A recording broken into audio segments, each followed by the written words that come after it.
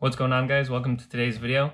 Um, I'm back from Grid Life Road America and I had a lot of fun, but now I'm ready to work on the RD again and fix that slip-in clutch after we put the heads on it. Um, so I've got a whole clutch kit from Economy Cycle, which is um, upgraded FZR, Yamaha FZR. I think they come in like R6, R6s and other models, but um, there's basically just more surface area on the friction discs to grab the steel clutch plates. So I'm going to be putting this in along with a little bit stiffer clutch springs. Got a new side cover gasket and uh, also upgraded clutch basket bolts because the stock ones are, they should be Phillips head screws and those just kind of suck. There's not a good way to torque them down. Um, so I thought these would be, good, be a good upgrade. So without further ado, let's get this thing torn down and uh, swap out that clutch.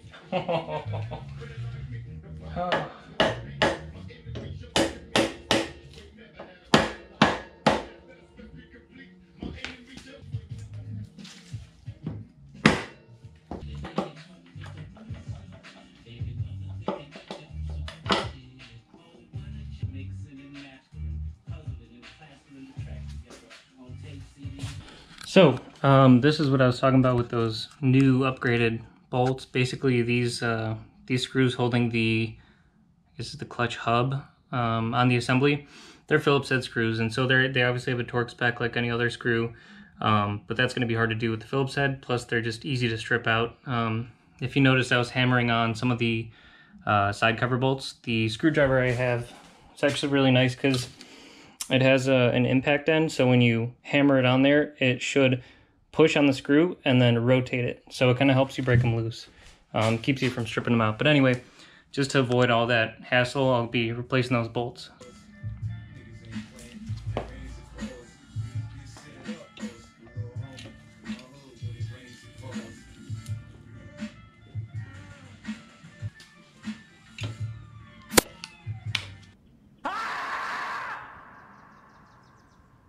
Forgot to put the bike in gear, so now I'm struggling.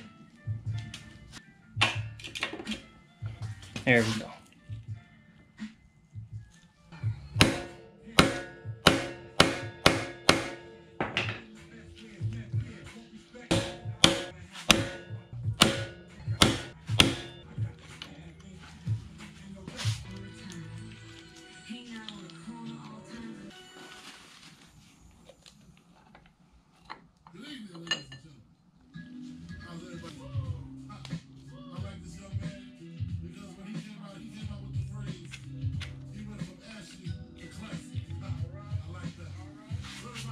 So uh, clutch assembly is off and I'm taking a look at the basket.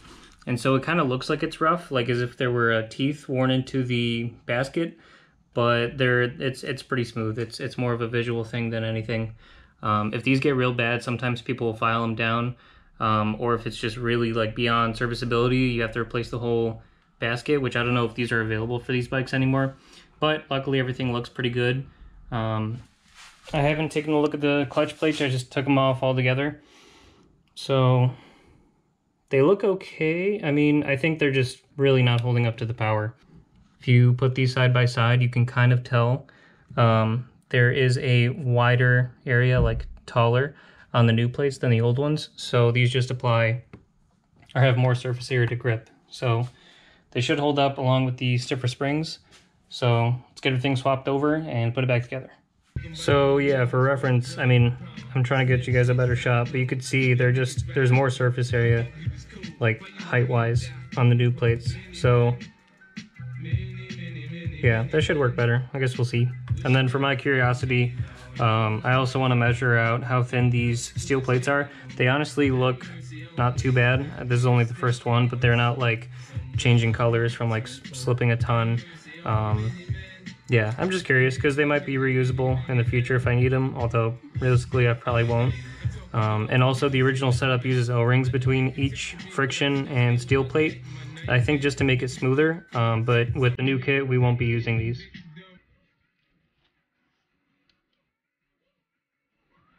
So 460-ish? 46 thousandths? New one is 47 so like a thousandth thicker. So yeah, I mean th these are these are fine, but I don't know. I'm a butthurt. I like to replace everything. It's not very expensive, and might as well just have everything fresh.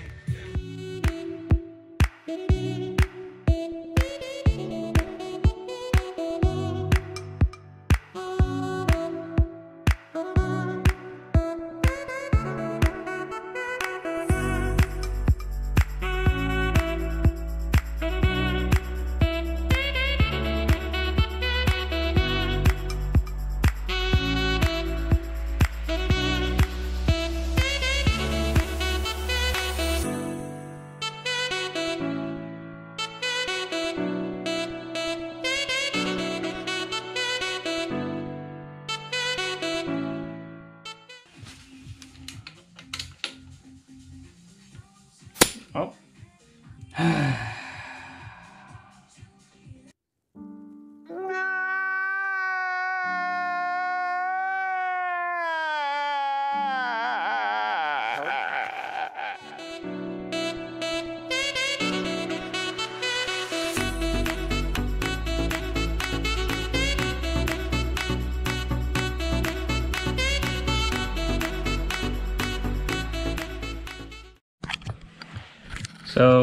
Kind of sucks. Um, I read online from some forum posts that these replacement screws don't actually withstand the five or so foot-pounds of torque that they're supposed to um, to get these tight. But at the same time, I'm using a 3 8 Harbor Freight torque wrench that goes to a minimum of five foot-pounds. So maybe it's the torque wrench's fault. It doesn't read well that low. Maybe the screws aren't strong enough. Um, regardless, I'm just going to put the stock screws back in, get them as tight as I can with a screwdriver. Should be just fine. Um, luckily, I was able to spin it out with a pick and just with my finger, um, since there's no resistance once the head of that bolt breaks. Um, so let's try it again. Hopefully this time uh, have better luck.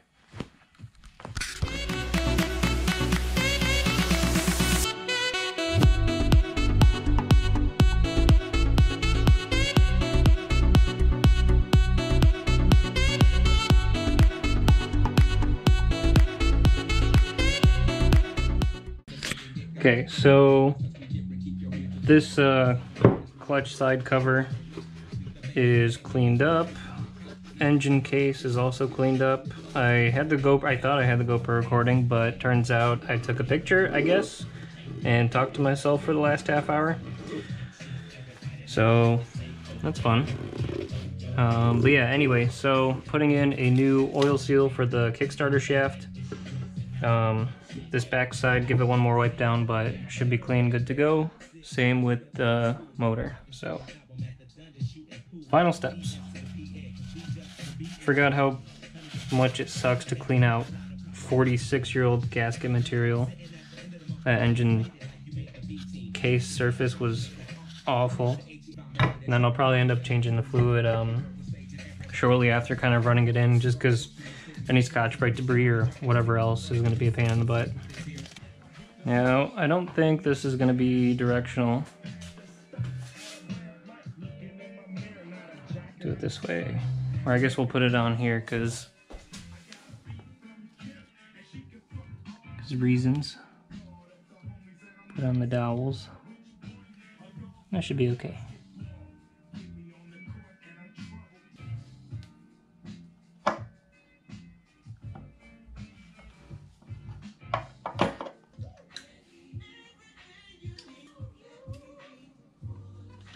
Okay, so I'm a little bit stupid. Um, but, so you're supposed to take the screw out, hold the pump fully open, and then bleed it like I was doing earlier until there's no air bubbles, which I think I got there pretty much, but I'm gonna double check.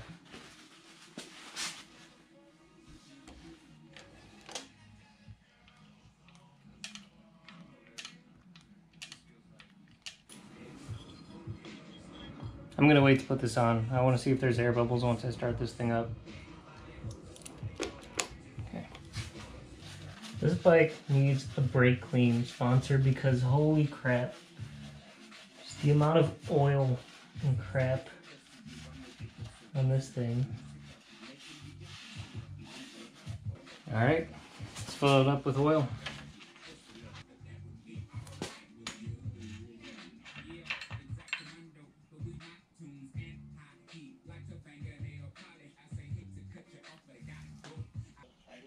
So now I'm taking off this uh, access cover for adjusting the push rod that goes to the clutch basket.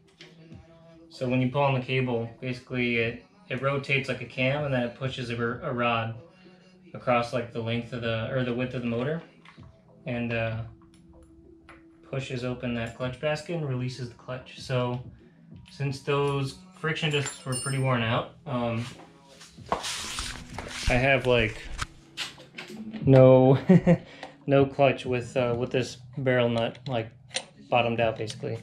So you got to loosen the lock nut and then move the the Phillips head bolt, which is pretty much that push rod, um, and adjust it so I can have clutch without having to extend this guy way outwards. So now,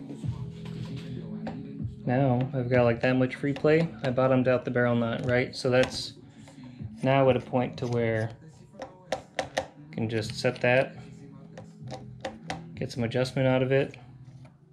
You know what, maybe I'll tighten it down, but you get the idea. Basically, I'm just setting that bottom point so I can have the proper amount of adjustment right here, which is easy to get to, versus this you have to take the cover off and mess with, so. Alright, so the clutch is done on the RD. I really want to take it and ride it around, but it's like almost 10 o'clock and it's cold and it's been raining all day. Um, so I'll probably just take it up and down the driveway, make sure it works, and then hopefully when it's nice out again, I'll um, I'll go for a ride and film that.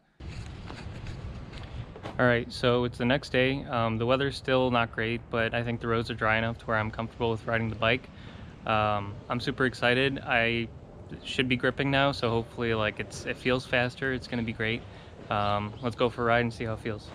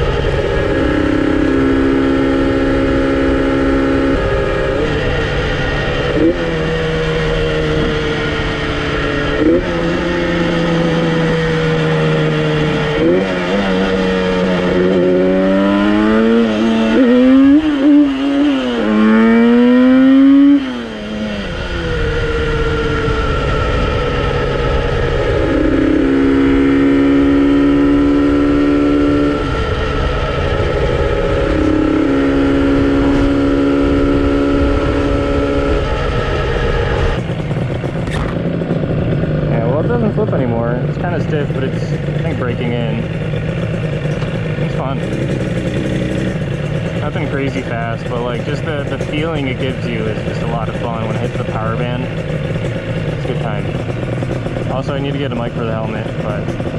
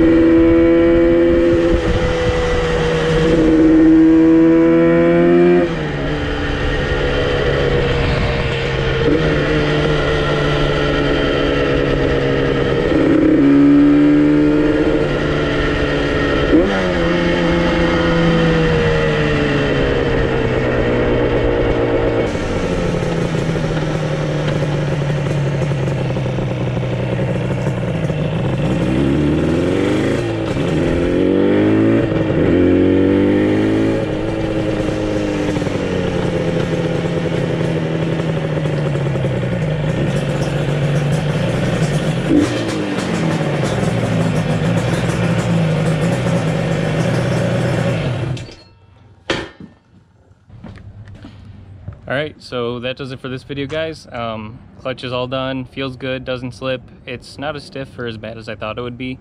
Um, I think it's gonna break in a little bit too, the springs will.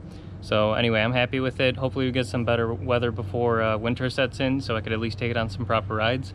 And uh, see you guys next time.